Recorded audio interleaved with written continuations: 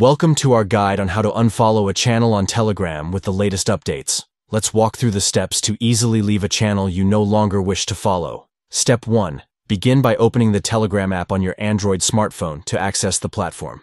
Step 2. Navigate to the specific channel that you want to unfollow within the Telegram app. Step 3.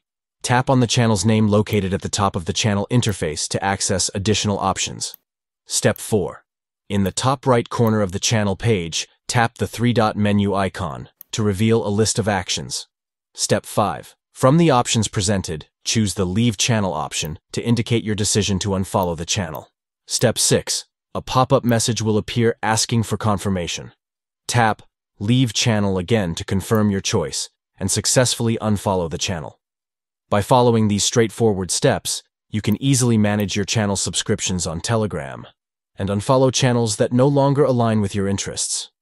Keep your channel list organized and tailored to your preferences by unfollowing channels as needed. Thank you for watching, and we hope this guide helps you navigate the process of unfollowing a channel on Telegram effectively. Enjoy a clutter-free channel experience by unfollowing channels that are no longer relevant to you.